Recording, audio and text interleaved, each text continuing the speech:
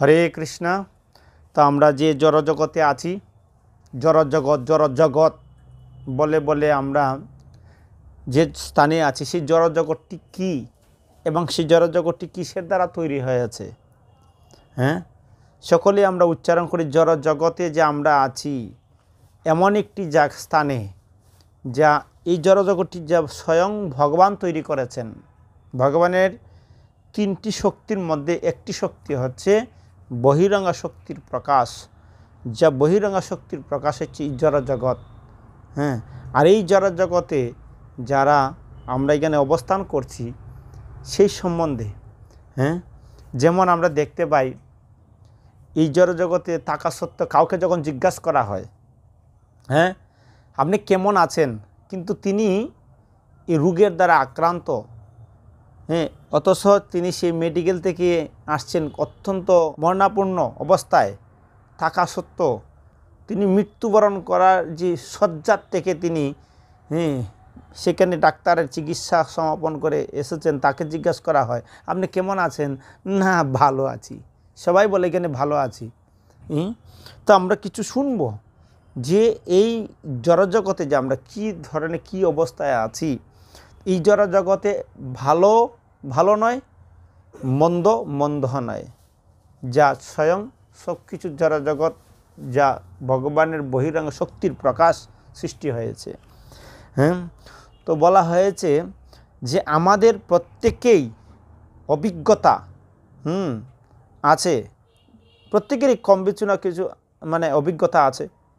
কীভাবে একজন পরিপূর্ণভাবে দুঃখময় পরিস্থিতিতে হ্যাঁ রয়েছে। যেমন হ্যাঁ একজন শয্যাগত, যেমন একটু আগে বললাম যে শয্যাগত ব্যক্তি, তিনি কেন, যে মহারোগী অবস্থা হ্যাঁ যখন সে ব্যথা থেকে কিছুক্ষণের জন্য মুক্তি পায়, সে একজন মহারোগী মানে সে ব্যথার দ্বারা সে ছটপট ছটপট করছে, করা সত্ত্বেও কিছুক্ষণের জন্য যখন সে মুক্তি পায় হ্যাঁ তখন কেউ যদি তাকে জিজ্ঞাসা করে আপনি কেমন আছেন? হ্যাঁ?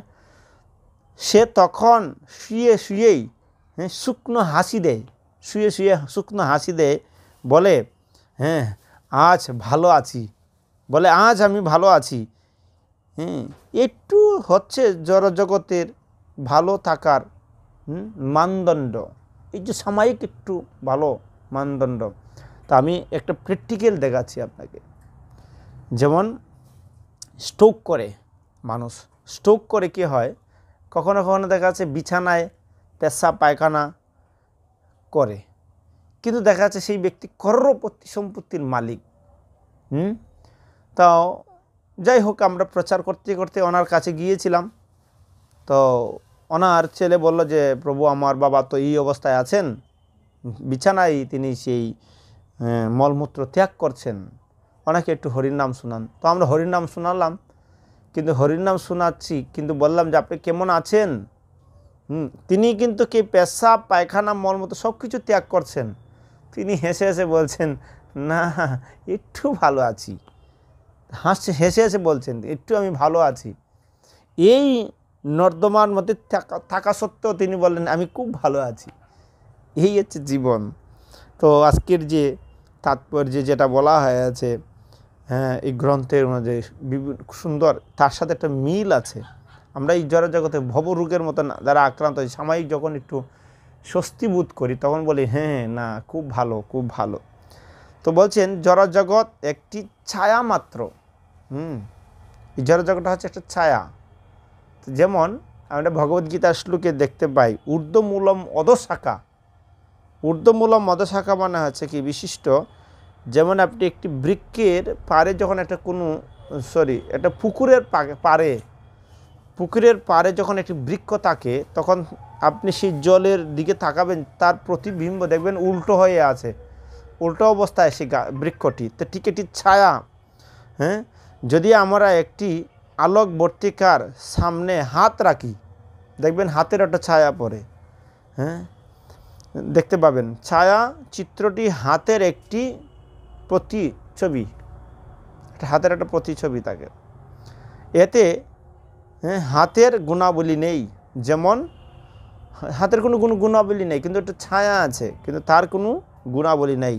যেমন রুম, চর্ম, অথবা হাতের ছাপ, এটি একটি রূপমাত্র, একটা রূপ মাত্র হ্যাঁ এ রূপভাবে জড়জগতে প্রশান্তিভূত হুম সেবক তত্ত্ব বন্ধুত্ব পিতা মাতার স্নেহ বা আসক্তি এই সমস্তই প্রকৃত রূপের অপূর্ব ছায়া মাত্র যা আমরা এখানে দেখতে পাচ্ছি। সব কিছু একটা ছায়া স্বরূপ হ্যাঁ, বন্ধু আত্মীয় স্বজন পিতামাতা যা আমরা যা যা নিজের নিজেরা আমরা যেটা আমরা সেখানে স্থাপন করি এগুলো হচ্ছে একটা ছায়া স্বরূপ হুম।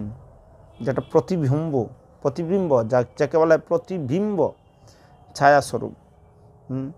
যে যতই বড় হ্যাঁ যে যত বড় লোক বা যত গরিব হোক, যত দিন সে এই জড় জগৎকে সব কিছু বলে মনে, মেনে নেয়, ততদিনেই সে মায়ার কবলিত হয়ে পড়ে থাকে। আর তাই তার পক্ষে কৃষ্ণ প্রাপ্তিও হয়ে উঠে। খুব কঠিন। যখন এইরকম সে যতদিন তার জ্ঞানে আসক্তিটা বৃদ্ধি পাবে, যেমন একটা উদাহরণ দিই আপনাদেরকে আসক্তির বিষয়ে।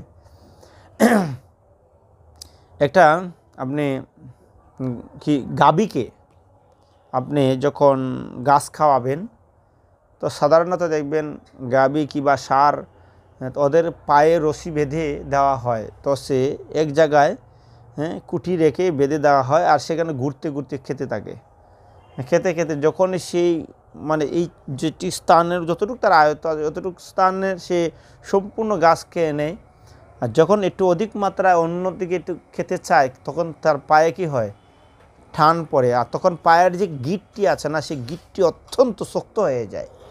হ্যাঁ খুব মানে প্রবল শক্তি মানে শক্ত হয়। তো যত টানতে থাকে, যত সে কেটে থাকে, তত সেই তার বন্ধনটি কী হয়, ধীর থেকে ধীরতর হয়। তো ঠিক আপনার, আমার ওই, এই অবস্থা।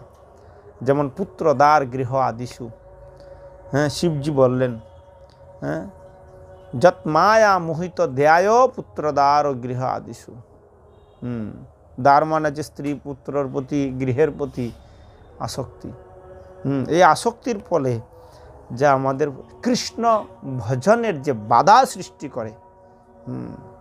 তার এক সেই জন্য বলা হয়েছে, ভক্তিযুগ সাধনের জন্য এবং ভগবত দামে ফিরে যাওয়ার জন্য পৃথিবীকেই সবচেয়ে উপযুক্ত স্থান হিসাবে হ্যাঁ বর্ণনা করা হয়েছে।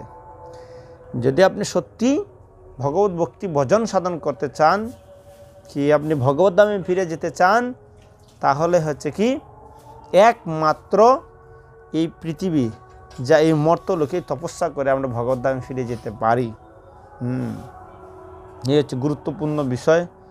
আর এই মায়া কি জড়জগতের যে, জড়জগৎ, এই জড়জগৎ ভালো আর, হুম, জড় মন্দ।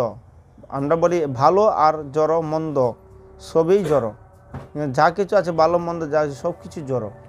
তো সেই জন্য এই জড় বস্তুতে এটা হচ্ছে একটা হ্যাঁ প্রতিবিম্ব স্বরূপ।